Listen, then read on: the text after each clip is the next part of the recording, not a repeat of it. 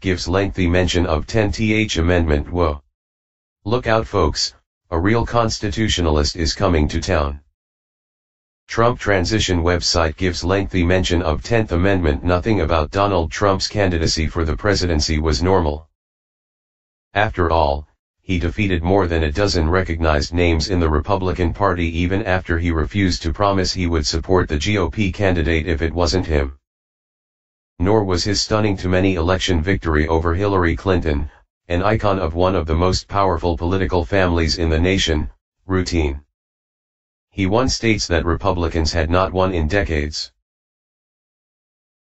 Now, it appears his tenure in the Oval Office will venture from the mainstream, but probably in a good way. A constitutional way. On a new website his transition team has created, he's advocating for the 10th Amendment, the provision in the U.S. Constitution cited often by conservatives who believe the federal government has usurped rights the founders meant for the states. Under his plan to make America great again, he addresses constitutional rights. Donald Trump understands the solemn duty that comes from the oath of office swearing to preserve, protect, and defend the Constitution of the United States. He embraces the fact that the reason the founders of this nation decided to adopt a written constitution as the supreme law of the land for the first time in world history was to create a democratic form of government in which ordinary people would know the powers of government and the rights of the people. That is why the Constitution's 4,400 words were written in a way that ordinary Americans would read and understand them, and use a standard to hold public officials accountable. The statement continues, as President, Donald Trump will fulfill that sworn duty, vetoing legislation that exceeds congressional authority, taking actions as chief executive and commander-in-chief that are consistent with his constitutional role, and nominating judges and Supreme Court justices who are committed to interpreting the Constitution and laws according to their original public meaning. He will defend Americans' fundamental rights to free speech, religious liberty, keeping and bearing arms, and all other rights guaranteed to them in the Bill of Rights and other constitutional provisions. This includes the 10th Amendment guarantee that many areas of governance are left to the people and the states, and are not the role of the federal government to fulfill. The Constitution declares that as Americans we have the right to speak freely, share and live out our beliefs, raise and protect our families, be free from undue governmental abuse, and participate in the public square.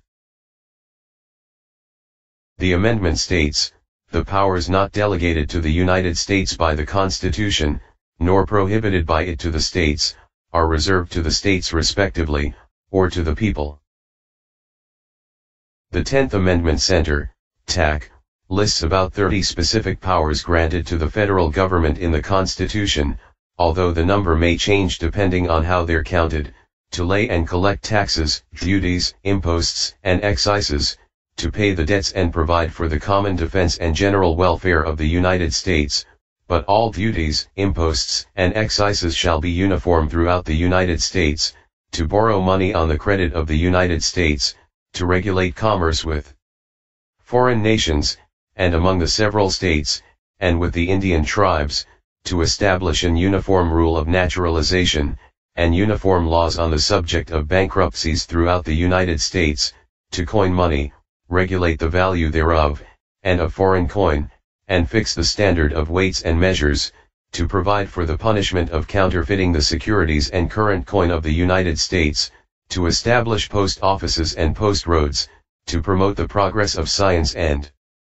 useful arts, by securing for limited times to authors and inventors the exclusive right to their respective writings and discoveries, to constitute tribunals inferior to the Supreme Court, to define and punish piracies and felonies committed on the high seas, and offenses against the law of nations, to declare war, grant letters of marque and reprisal, and make rules concerning captures on land and water, to raise and support armies, but no appropriation of money to that use shall be for a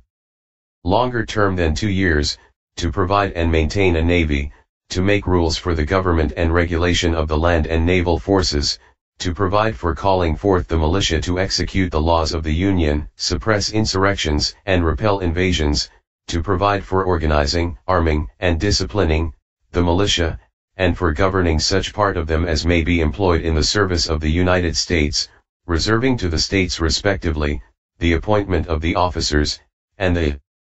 authority of training the militia according to the discipline prescribed by Congress, to exercise exclusive legislation in all cases whatsoever, over such district, not exceeding 10 miles square, as may, by cession of particular states, and the acceptance of Congress, become the seat of the government of the United States, and to exercise like authority over all places purchased by the consent of the legislature of the state in which the same shall be, for the erection of forts, magazines, arsenals, dockyards, and other needful buildings, and to make all laws which shall be necessary and proper for carrying into execution the foregoing powers, and all other powers vested by this Constitution in the government of the United States, or in any department or officer thereof. No state shall, without the consent of the Congress, lay any imposts or duties on imports or exports, except what may be absolutely necessary for executing its inspection laws, and the net produce of all duties and imposts, laid by any state on imports or exports, shall be for the use of the Treasury of the United States, and all such laws shall be subject to the revision and control of the Congress.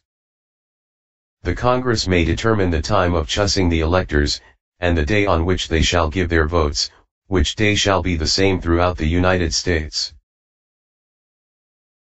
In case of the removal of the President from office, or of his death, resignation, or inability to discharge the powers and duties of the said office, the same shall devolve on the Vice President, and the Congress may by law provide for the case of removal, death, resignation, or inability, both of the President and Vice President, declaring what officer shall then act as President, and such officer shall act accordingly, until the disability be removed, or a President shall be elected.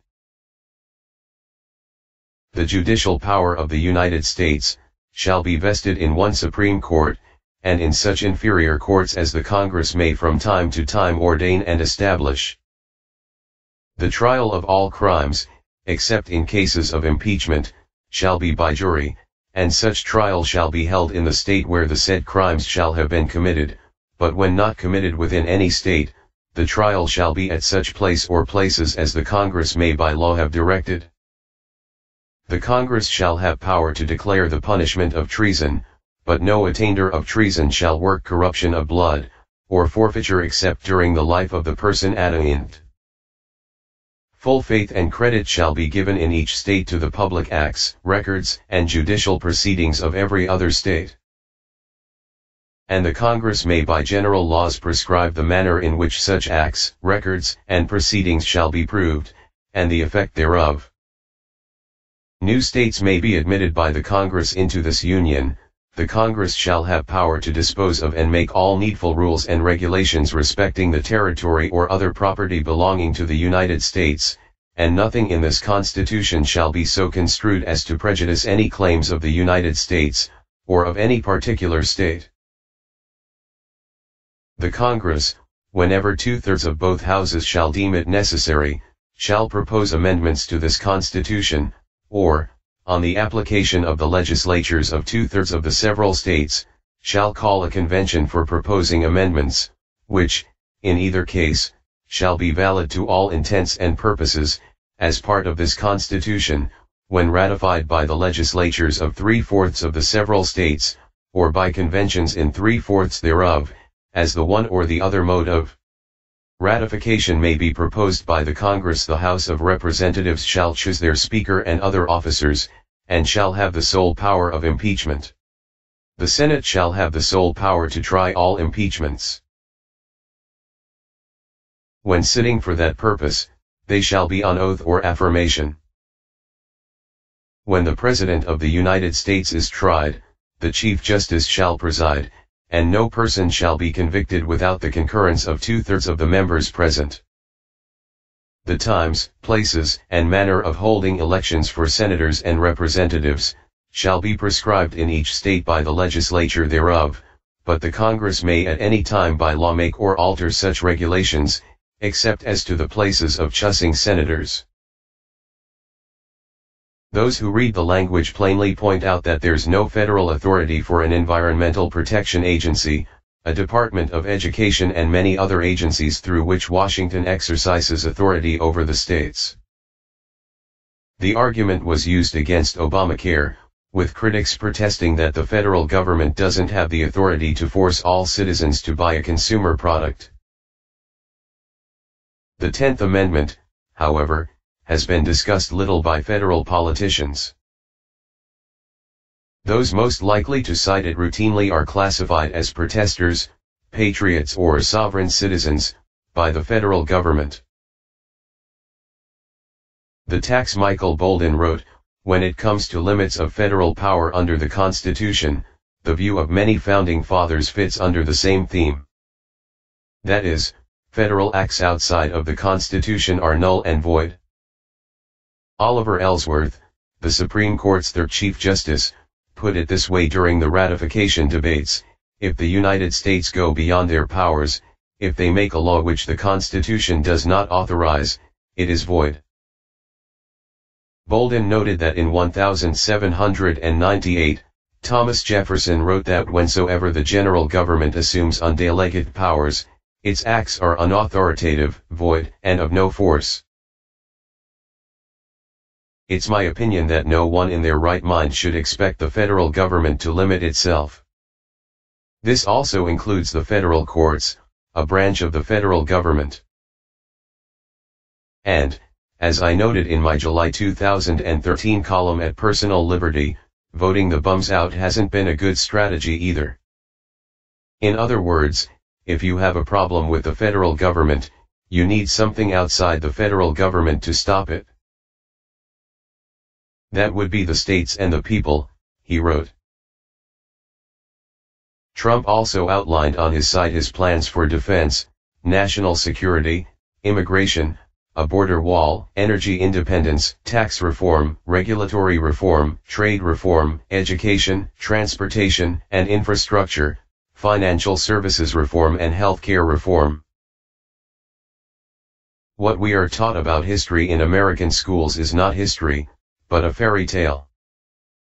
Better yet, it is propaganda designed to hoodwink an unsuspecting society about its true heritage and the treasonous acts and sabotage that were conceived in order to bring about a new world order. You are about to learn the real identities of those who have infiltrated your nation on behalf of secret societies intent on bringing about the total slavery of mankind. In the past, Others have written about the numerous conspiracies to control natural resources, energy, food, and our sovereign right to live on planet Earth not as slaves of a wealthy few but as free men, women, and children exercising the free will given to them by God. Imagine you were a member of a secret organization whose sole agenda was to control the entire planet. If your plan was to accomplish this goal without being perceived by your intended victims, discretion would be paramount. Your organization would devise a series of historical events that, on the surface, would appear to be everyday, happenstance occurrences, natural disasters, man-made diseases, acts of murder, assassination, terror, manipulation of money and energy supplies, contamination of foods, pollution of natural resources, and war. The timing of these events would require patience, careful planning, and cooperation from others in positions of trust, stealth and deceit. In essence, the whole mission must derive its power through deception and concealment and must have a master plan.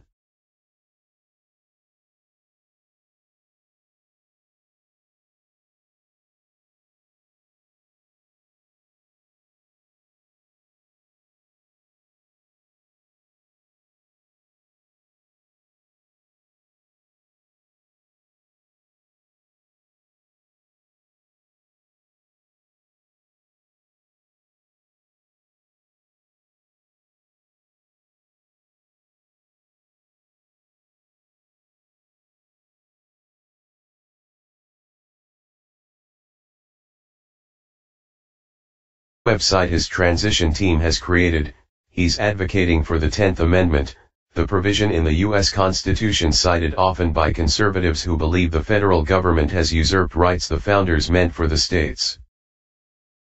Under his plan to make America great again, he addresses constitutional rights. Donald Trump understands the solemn duty that comes from the oath of office swearing to preserve, protect, and defend the Constitution of the United States. He embraces the fact that the reason the founders of this nation decided to adopt a written constitution as the supreme law of the land for the first time in world history was to create a democratic form of government in which ordinary people would know the powers of government and the rights of the people. That is why the Constitution's 4,400 words were written in a way that ordinary Americans would read and understand them, and use a standard to hold public officials accountable. The statement continues, as President, Donald Trump